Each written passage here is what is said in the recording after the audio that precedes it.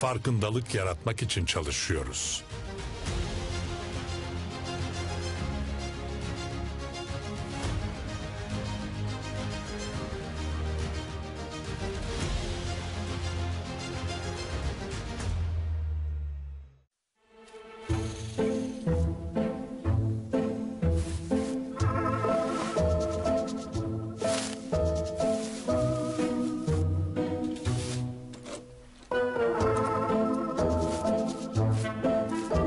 Farkında değildiniz belki ama yetişkin bir insanın bir yılda tükettiği ortalama plastik poşet sayısı bir evi tamamen doldurabilecek kadar çoktu.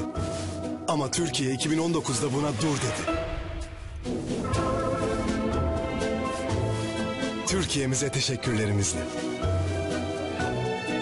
Türkiye Cumhuriyeti Çevre ve Şehircilik Bakanlığı.